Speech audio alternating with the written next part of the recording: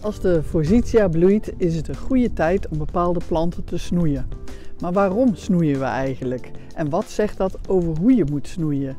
Daar vertel ik je vandaag graag meer over. Mijn naam is Elisabeth Scholt van Scholt Tuinadvies en Ontwerp en ik help mensen aan een tuin naar hun hart.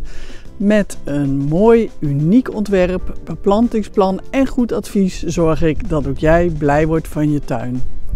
Dit struikje is een winterbloeiende viburnum. En je ziet dat hij best een hele losse groei heeft. Dat komt omdat deze struik niet zo vaak gesnoeid is. Hierboven in de toppen van deze tak zit een groeihormoon. En die stuurt een signaal naar beneden in de plant om te zeggen dat de zijtakken niet zo hard hoeven te groeien. Als je dus de toppen van een plant snoeit, krijgen de zijtakken dat signaal niet en die gaan groeien en dus wordt de struik veel compacter.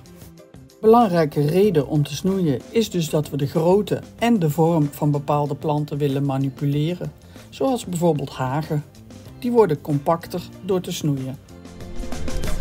In het geval van deze viburnum is snoeien dus niet echt noodzakelijk.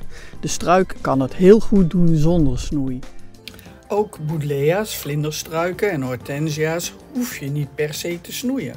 Waarom we dat dan toch doen, dat vertel ik in een volgend filmpje. Vond jij dit filmpje leuk? Abonneer je dan op mijn kanaal en druk ook even op het belletje.